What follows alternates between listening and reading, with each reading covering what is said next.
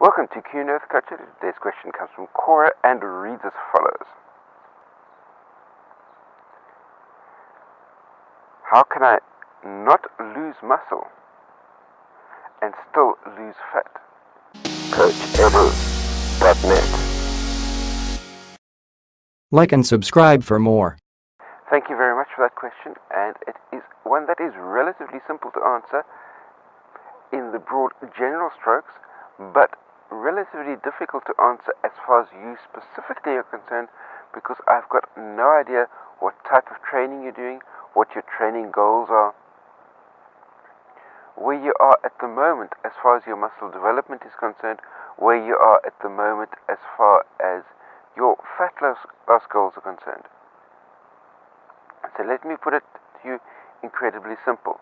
The way to not lose muscle but still lose fat to put in the training and put in the time to dial in your nutrition to the exact micro and macronutrient ratios that you need in order to be able to support and fuel the specific type of training that you're doing that and the training is in line with your fitness and health goals you're wanting to achieve. So how do we get, go about doing this? Very easy.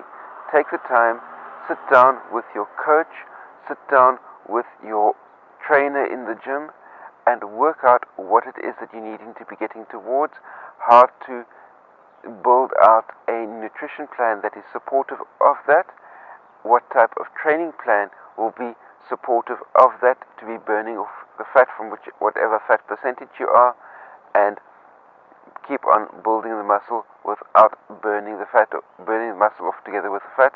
And the easiest way to not burn the muscle off together with the fat is making sure that you're getting sufficient good clean nutrition to fuel the training that you're going to be doing.